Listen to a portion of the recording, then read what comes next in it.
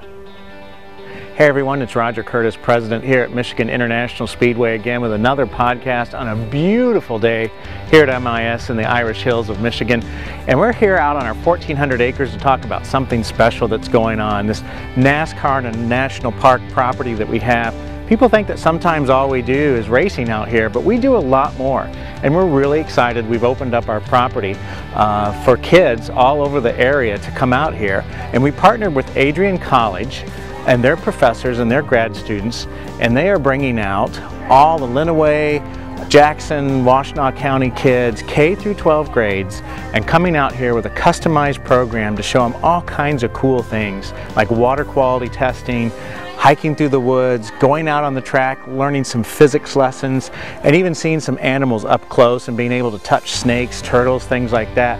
It's just an opportunity for us to get the kids out, get outdoors, experience some things, get away from their Game Boys and their iPods and everything else for a while, and really have an experience on our beautiful 1,400 acres.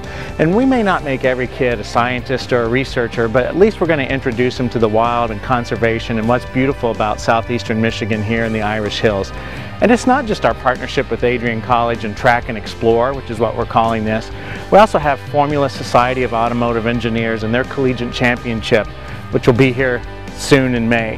And then we also have Square One, which is another educational project where kids get to build all kinds of different cool things and test them out here at the racetrack. So here at MIS, it's a lot more than just NASCAR racing.